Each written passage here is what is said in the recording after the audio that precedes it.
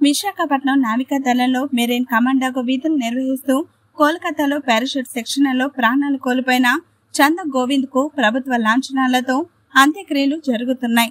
మృతదేహం గురువారం వస్తుందని భావించినప్పటికీ శుక్రవారం ఉదయం స్వగ్రామం పర్లకు చేరుతుందని నేవీ అధికారుల నుంచి కుటుంబానికి సమాచారం వచ్చింది. కుటుంబానికి పెద్ద దిక్కుగా ఉన్న కుమారుడి మృతితో తల్లి లక్ష్మి తల్లడిల్లుతున్న తీరు అందరినీ కలిచివేసింది. విజయనగరం జిల్లా చీపురుపల్లి మండలం పర్ల గ్రామానికి చెందిన చందక రామకృష్ణ లక్ష్మీ దంపతుల పెద్ద కుమారుడు చందక గోవింద్. గోవింద్ తండ్రి చంద్రక రామకృష్ణ ఏడాది క్రితం మరణించారు. దీంతో అప్పటి నుంచి కుటుంబానికి అన్ని తానే చూసుకుంటున్నాడు. తల్లి లక్ష్మి సోదరి సోదరుణ్ణి పెంచేవాడు.